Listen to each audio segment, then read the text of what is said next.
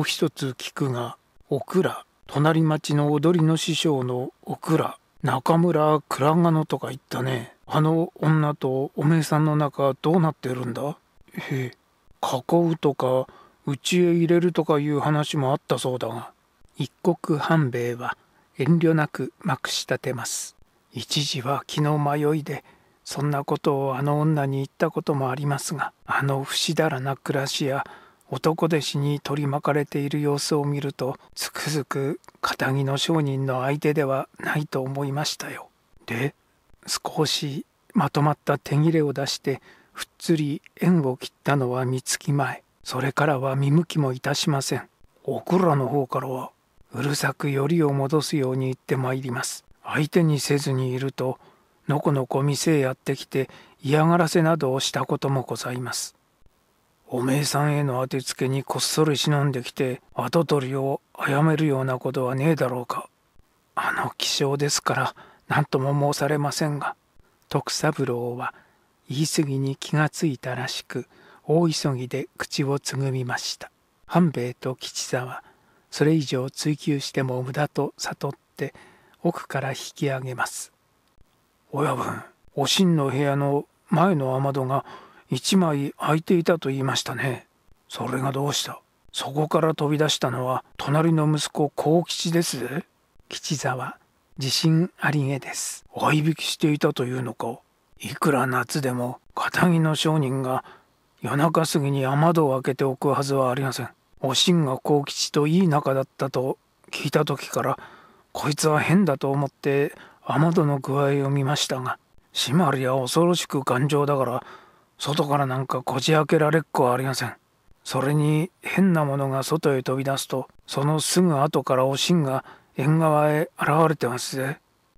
じゃあおしんと幸吉が合いびきしているのを雇用に起きた源吉が見つけて障子から覗いたところを中から脇差しで疲れたというのかい。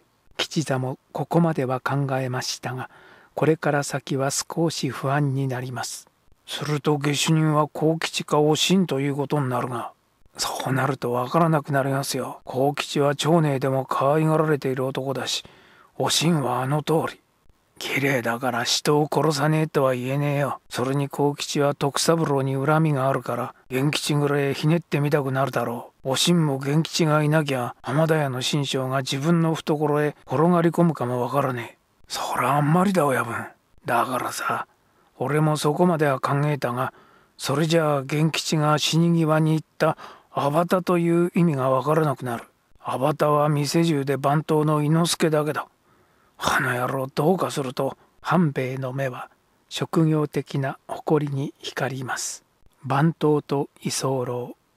おい、てめえ、ゆんべどこへ行ってたんだ？え、騒ぎの真っ最中、どっからともなく、ふらりと帰ってきたそうじゃねえか。番頭の伊之助を物陰に呼び入れると半兵衛は春烈に詰め寄りました。どこへも行きはしませんよ親分。行かねえことがあるもんか。店のもんはみんな知ってるぞ。あんまり寝苦しいからちょいと涼みに海賊橋まで行ってきましたが伊之助のあばたの顔は歪みます。毎晩涼みに出るのか？え？隠すな。てめえが9つから先毎晩一時ぐらい外へ出るのは店中で知らねえものはねえぜ。店からお買って回ってくぐりをそっと開けて出ることまで見通しだ。源吉が死ぬ時アバタと言ったそうだ。アバタのある人間は浜田屋の店中にてめえ一人だ。お衆のせがれを殺した大罪人は間違いもなく貼り付け柱をしわされるんだぜ。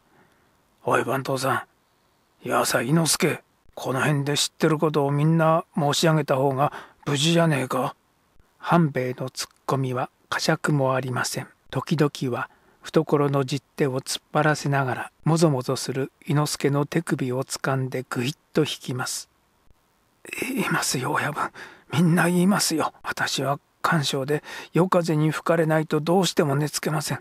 夜中に一度起き出して外の風に吹かれてくるのは道楽やシャレじゃありません。それに坊ちゃんが殺された時は確かに外にいたんですから店中で私ほど潔白なものはないわけでしょう。アバタのある人間なんか江戸中に何万人あるかわからないじゃありませんか。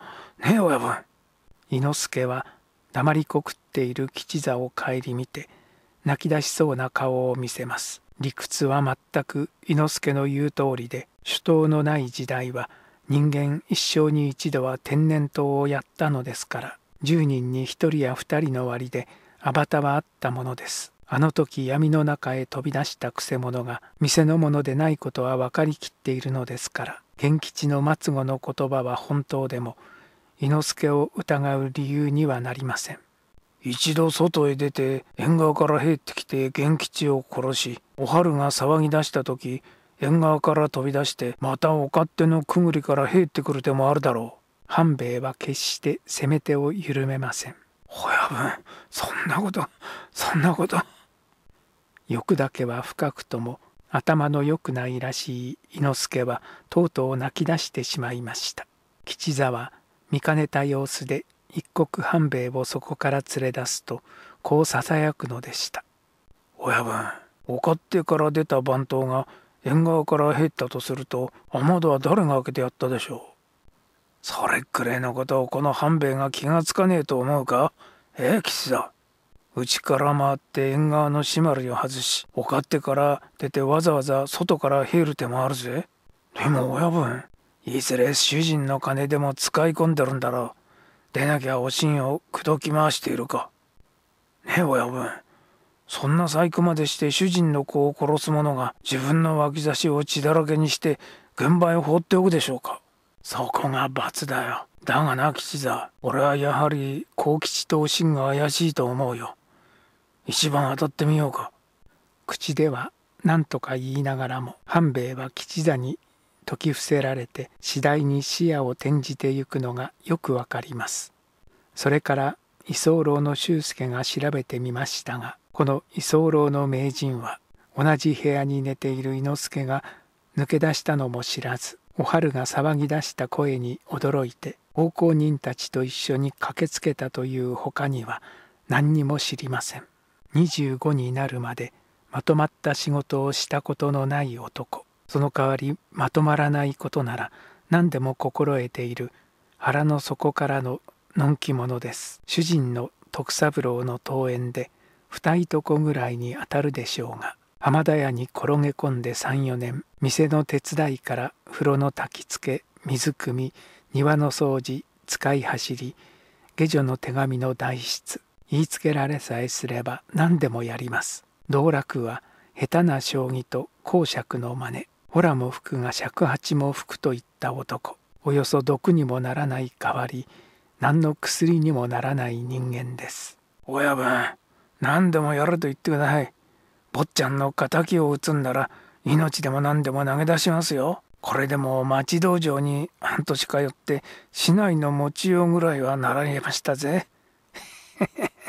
頼もしいような頼りないようなこういった調子です。もっとも浜田屋には34年養われた恩を感じているらしくこんな時は奉公人たちがびっくりするほどよく働きます。それじゃあ聞くが伊之助が毎晩外へ出るのも知らねえはずはあるめえね。ふすうすは知ってますがね。